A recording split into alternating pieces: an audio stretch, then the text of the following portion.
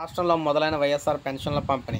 కానీ వీరికి మాత్రం చాలా ప్రాంతాల్లో పెన్షన్ల పంపిణీ ఆగిపోయింది. దీనికి గల కారణం మనం చూసుకున్నట్లయితే పింఛను సొమ్ము దారి దోపిడీ సచివాలయానికి తీసుకెళ్తూ ఉండగానే సంఘటన.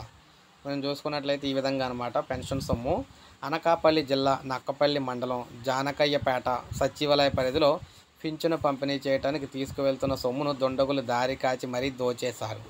ఎంపీడీఓ వి శ్రీనివాసరావు పంచాయతీ కార్యదర్శి సత్యనారాయణ పోలీసులకు అందించిన ఫిర్యాదు ప్రకారం జానికయ్యపేట సచివాలయం టూ పరిధిలో పింఛన్ల లబ్ధిదారులకు చెల్లించడానికి నక్కపల్లి ఇండియన్ ఓవర్సీస్ బ్యాంక్ నుంచి సచివాలయ వెల్ఫేర్ సహాయకుడు జి వెంకటేశ్వరరావు డిజిటల్ సహాయకుడు ఏ నానిబాబు పదమూడు లక్షల డెబ్బై ఎనిమిది వేల ఐదు వందలు తీసుకొని సాయంత్రం సచివాలయానికి అయితే బయలుదేరారు.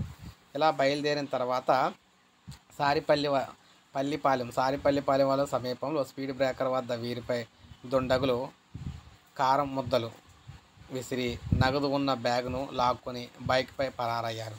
దీంతో బాధితులు మండల పరిషత్ అధికారులతో పాటు పోలీసులు కూడా సమాచారం అందించారు.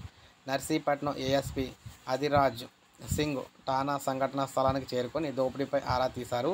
ఈ మార్గంలో సీసీ క్రమం లేకపోవడంతో కేసులు ఇక్కడ కేసు పోలీసులకు క్లిష్టతరంగా మారింది. సో మొత్తం ఏం చూసుకుంటే వీరందరికీ కూడా ఇలా కొన్ని ప్రాంతాలు ఇటువంటి ప్రాబ్లమ్స్ ఎక్కడైతే జరిగినాయి వారందరూ కూడా పెన్షన్ అయితే పంపిణీ చేయడం ఆపేశారు. మిగిలిన వరకు అయితే ఐదు రోజుల పాటు పెన్షన్లు అయితే పంపిణీ జరుగుతాయి అన్నమాట ఏపీలోని. సో ఇది ఫ్రెండ్స్ ఈ వీడియో. లైక్ చేయండి సబ్స్క్రైబ్ చేసుకోకపోతే మన ఛానల్ సబ్స్క్రైబ్ చేసుకొని ఫాలో అవుతూ ఉండండి.